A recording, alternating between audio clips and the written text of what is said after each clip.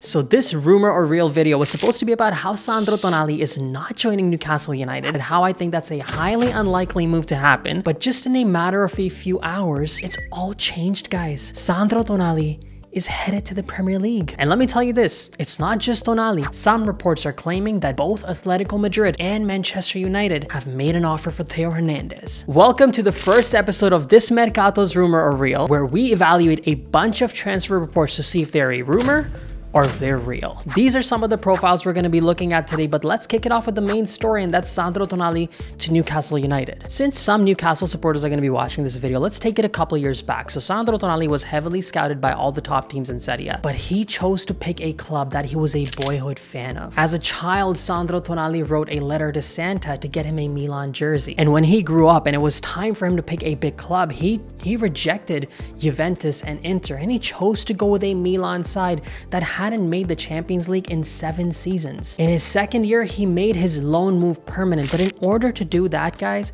he took a pay cut. A 23-year-old midfielder, highly recruited by all teams in the league, took a pay cut to stay with his boyhood club. In his first permanent year, he led Milan to win their first Serie A title in 11 years. And this is him just a few days ago, crying watching a Milan legend retire. That's the player that you're getting. A player that takes a pay cut to play for the team that he wants to. He gives it his all on the field and has a deep love and affection for his teammates. And the sad part is that the kind of loyalty that this player showed to the club, he didn't really want to join Newcastle United initially. It's only when he found out that his boyhood club is willing to sell him to another team is when Tonali decided that, you know what?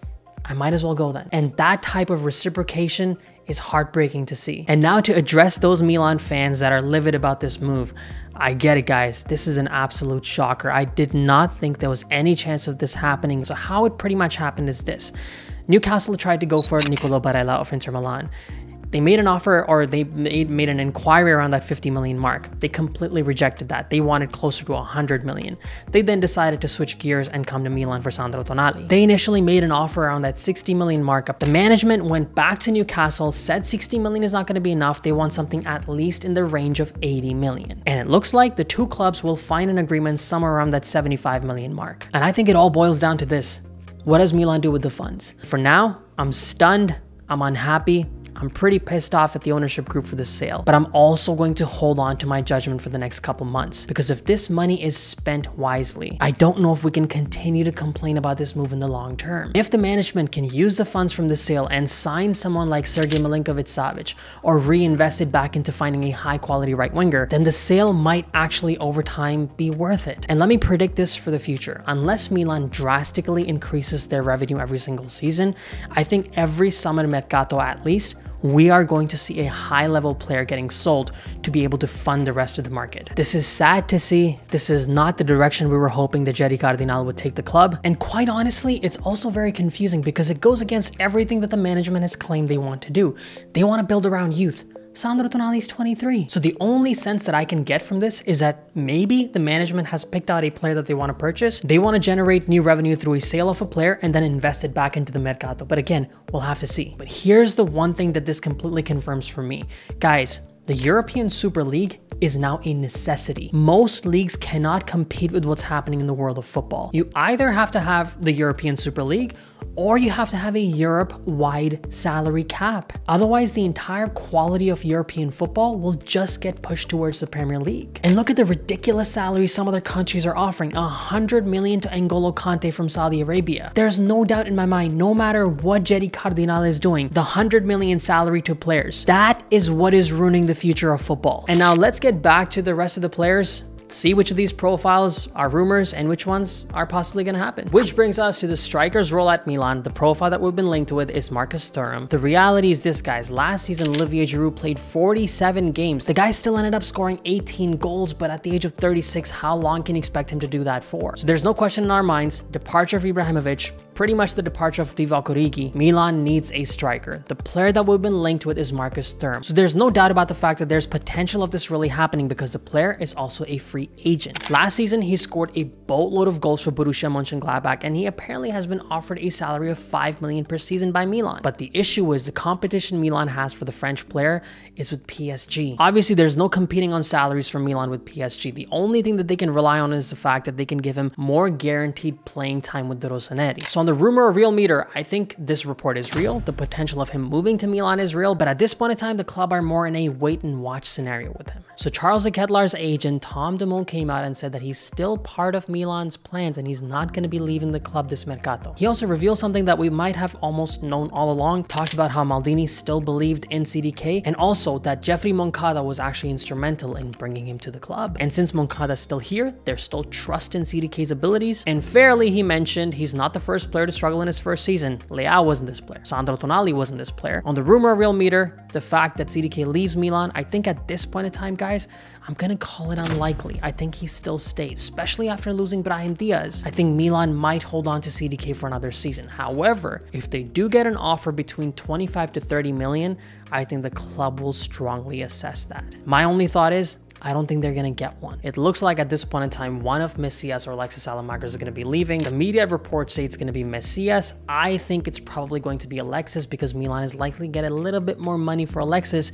And seeing how much Pioli likes to play Messias, I think he might stick with him because he finds him a little bit more reliable. Now, the player that Milan has been linked with is Villarreal's Nigerian right winger, Samuel Chukwueze. Last season, this guy had a combined total of 24 goals and assists. And the reality is, I don't think over the past two seasons, Messias and Alexis Saelemaekers have combined for that much. So there's no doubt that Milan needs an upgrade in that department. They are desperate for it. Now, the reality is that Villarreal, just like a lot of other football clubs in today's world, are in financial distress. So they need to generate revenue by selling some players. Chukwueze has one year left on his profile. The price tag being attached to him is 25 million. Guys, if I look at the rumor real meter for this player, do you think Milan is willing to pay 25 million for a player? I think the only time that that actually happens happens is if we actually sell Sandro Tonali and generate some funds. There are, however, a ton of reports connecting him to Milan.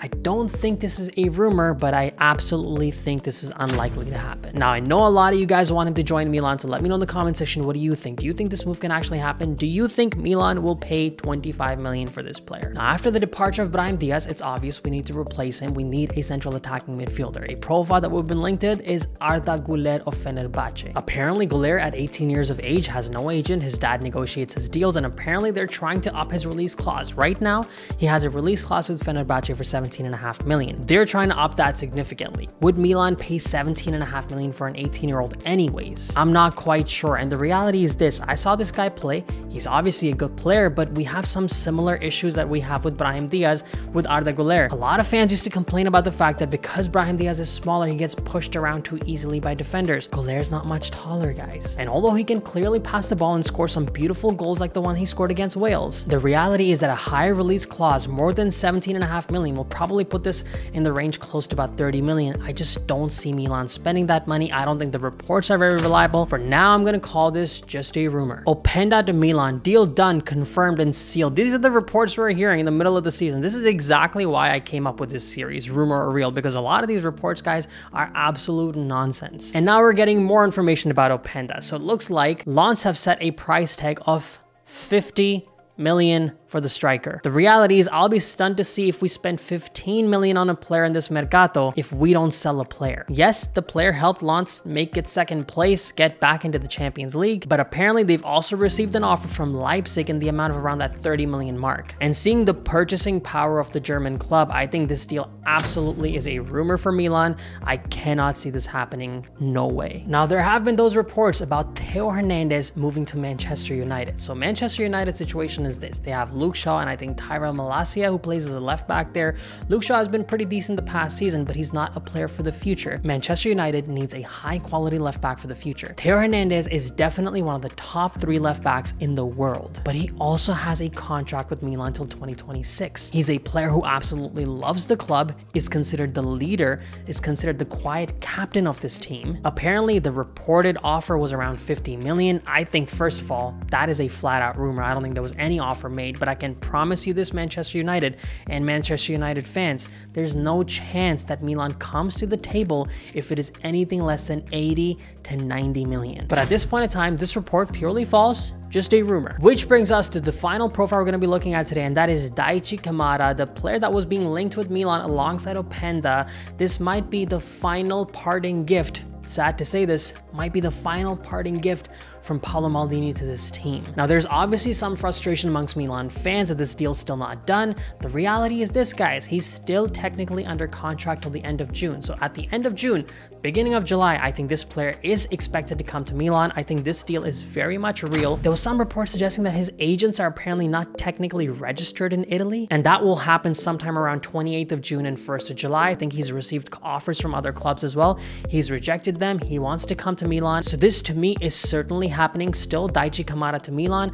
I think it's just a matter of time. Well, there you have it, guys. Those are the profiles we wanted to check out today. Welcome back to Rumor or Real. I know you guys have been asking for this episode for a while. I just wanted to see if something concrete in the Mercato was happening. The Mercato for me has officially kicked off. And if you're not part of the channel, if you're not part of the community, obviously hit the subscribe button, hit the like button. And if you want to become a member, get some priority access to information before these episodes are released, make sure to hit the join button down below. Let me know in the comment section which profiles you agree with, which players you want me to talk about. Name the player in the comments and we'll see in the next video if that's a rumor or if it's real. And as always, Forza Milan, grazie mille e ciao tutti!